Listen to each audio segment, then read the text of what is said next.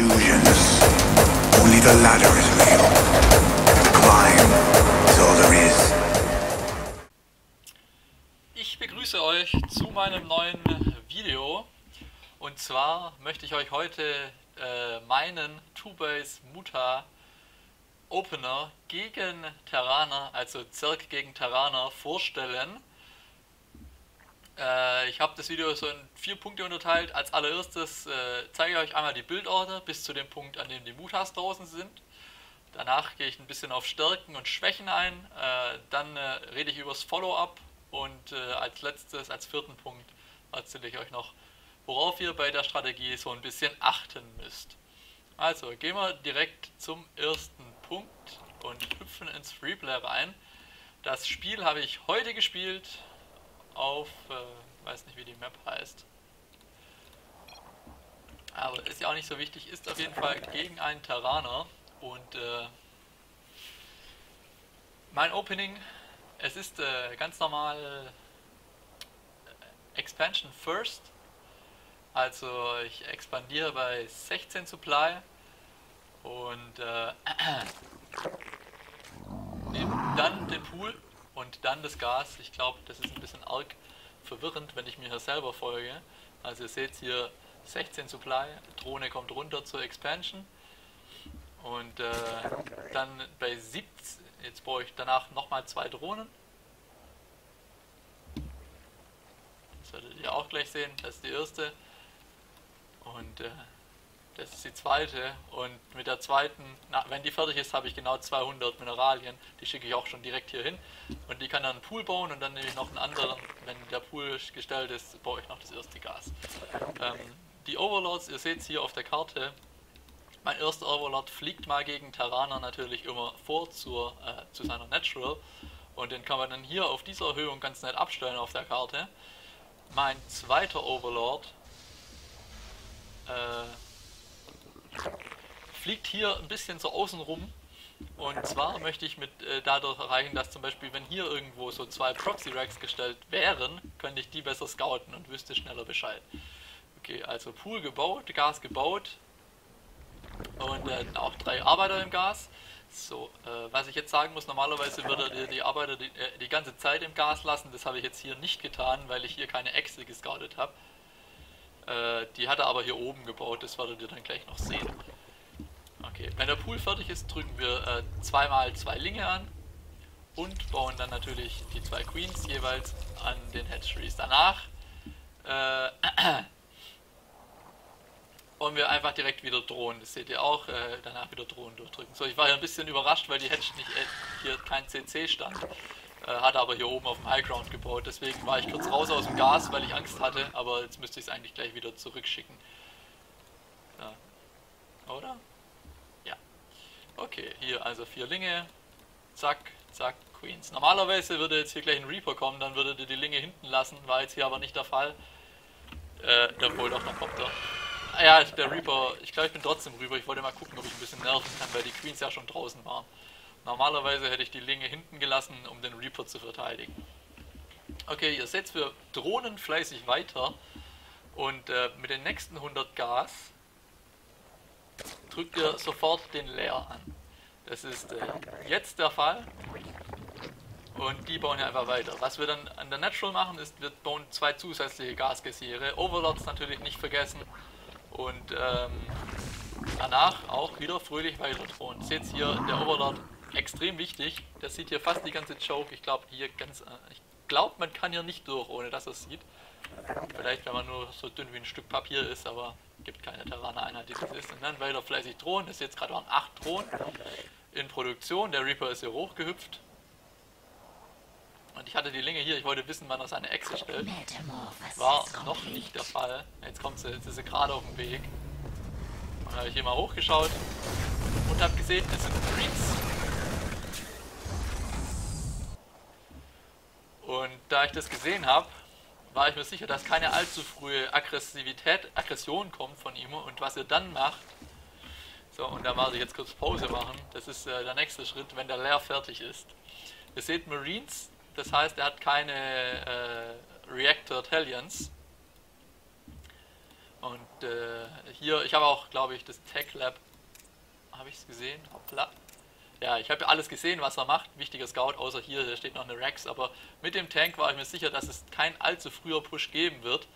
Deswegen, sobald euer Leer fertig ist, in dem Fall, äh, also Spire sowieso und äh, viertes Gas.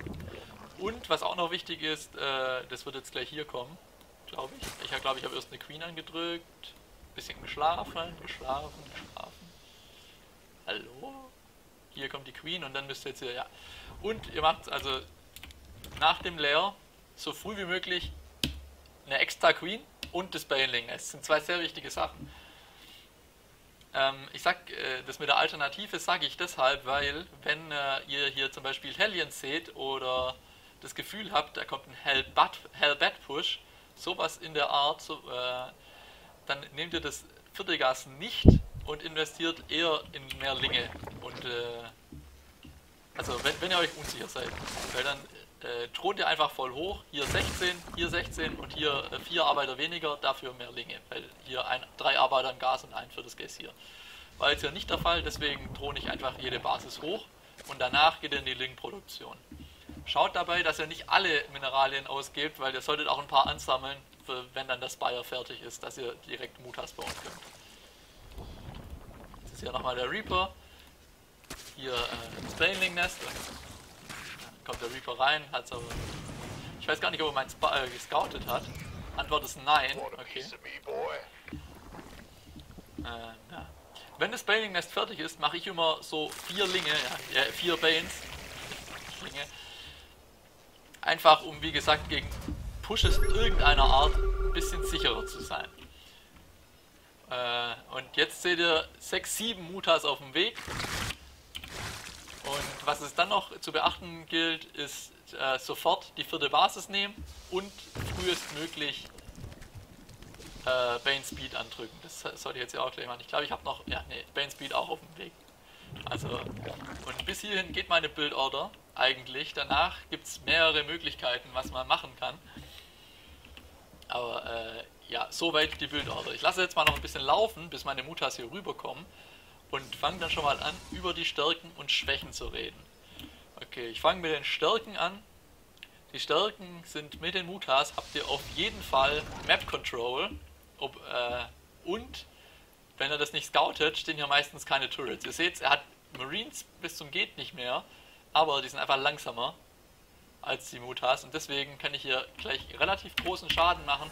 Ihr fliegt einfach dorthin, wo die Marines nicht sind und macht Schaden. Okay, ich meine, ich bin zwar immer noch hinten,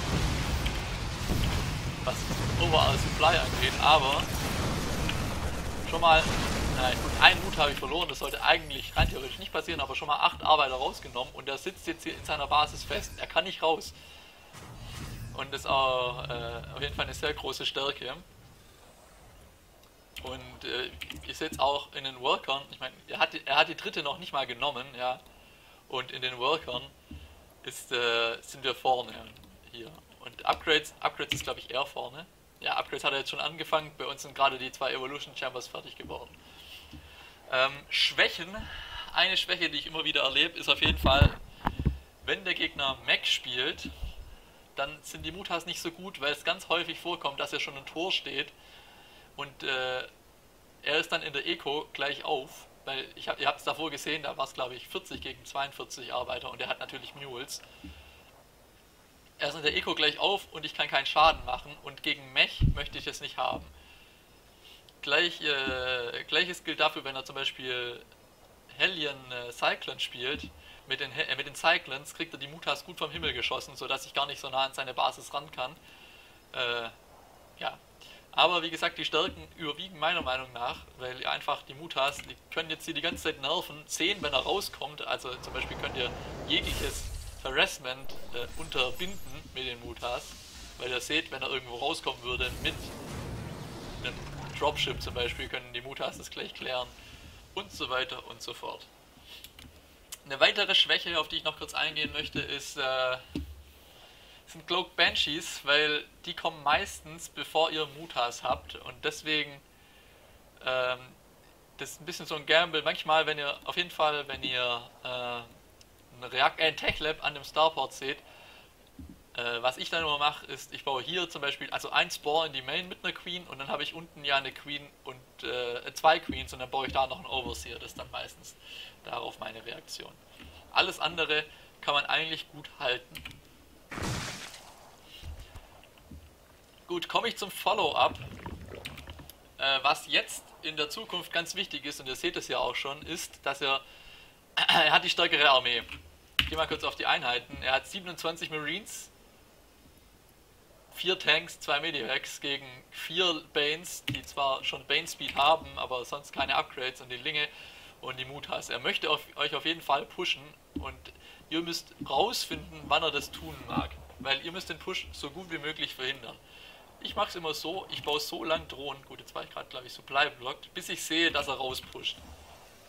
Und damit ich sehe, wann immer er rauspusht, verteile ich meine Linge so gut es geht auf der Karte, dass alle Eingänge hier äh, abgedeckt sind. Ja.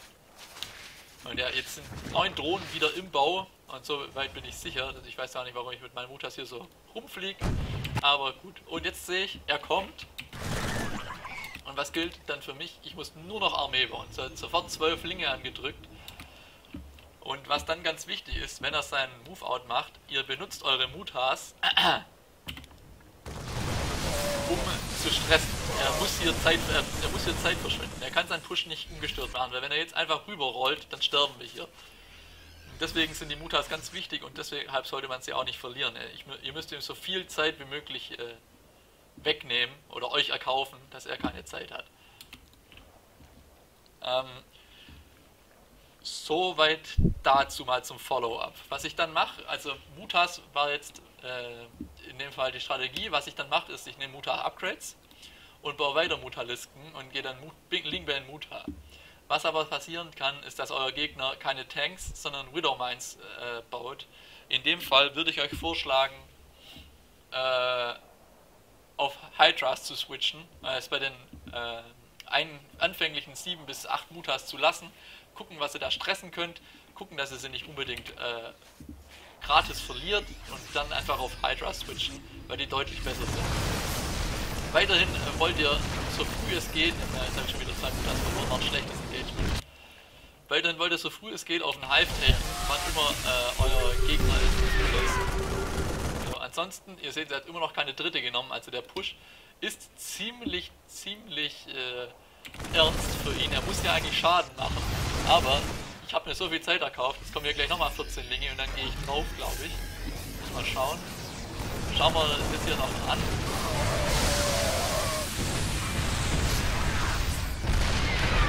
So, noch nicht rein. Ah, aber ich glaube, ja, jetzt rolle ich dann los. Meine, meine Mutter versuche die Tanks rauszunehmen. Linge, äh, den Plus für den Rest weg. So, seht dann. Er verliert all seine Armee, weil er gegen den Mutas nicht retreaten kann. Hier kommt zwar Nachschub, aber der würde direkt auch äh, sterben einfach. Und jetzt sind wir gleich even on Upgrades. Er hat, hat er überhaupt schon, ja, er fängt jetzt erst seine Armory an, fängt jetzt erst seine dritte an und ich nehme jetzt, kann ja schon die vierte nehmen. Ich habe eh schlecht gemacht heute in dem Spiel. Also so viel zu dieser Strategie. Ich lasse das jetzt noch in meiner Sicht ein bisschen weiterlaufen, um euch noch zu erzählen, worauf ihr zu achten habt. Ähm, worauf gilt es zu achten? Also wichtig war, hier oben mit dem Overlord zu scouten, weil äh, wenn hier ein Push kommt, dann baut lieber die Mutas ein bisschen später, also zum Beispiel Hellbat Marauder oder Hellbat Marine Push, sowas in der Art, äh, baut lieber die Mutas ein bisschen später, habt zusätzliche Queens, indem ihr das Gas weglasst, könnt ihr euch eine dritte, eine vierte Queen hier unten gut leisten baut mehr Linge, baut mehr äh, Banes. Ihr müsst erstmal den Push stoppen, das ist wichtiger. Und dann habt ihr immer noch danach die Mutas, um Schaden zu machen. Ähm, ja, deswegen Scouten sehr wichtig und wie gesagt, unbedingt, nachdem die Mutas draußen sind und ihr an eure dritte Basis droht, unbedingt hier Linge verteilen. Schauen, wo befindet sich mein Gegner, wann geht mein Gegner, also wann setzt mein Gegner zum Push an, weil ansonsten, wenn ihr nämlich erst wenn er hier schon steht und er dann erst anfängt, Armee zu produzieren, dann rollt er einfach drüber, weil ihr habt die schlechtere Army Composition. Deswegen braucht ihr für den ersten Push, um den zu halten, mehr Armee als der Gegner. Äh, Gibt es noch was, worauf ihr achten solltet? Fällt mir jetzt momentan nichts ein. Damit wäre ich soweit durch. Ich werde äh, die Bildorder unten in die Videobeschreibung posten. Und ich würde dort auch dieses Replay, das ich euch gerade gezeigt habe, und glaube ich, ich habe jetzt noch drei weitere vorbereitet, mit reinstellen. Äh, über, also die könnt ihr dann, werde ich online stellen, die könnt ihr dann runterladen oder euch anschauen, wenn ihr das wollt. Ansonsten möchte ich euch gar noch darauf äh, hinweisen, auf mein Twitch und auf meinen Discord-Account. Ich habe die beiden auch unten in der Videobeschreibung verlinkt. Ähm, ja, ich stream ab und zu auf Twitch, Zirk, allermeistens. Ihr könnt gern mal reinschauen.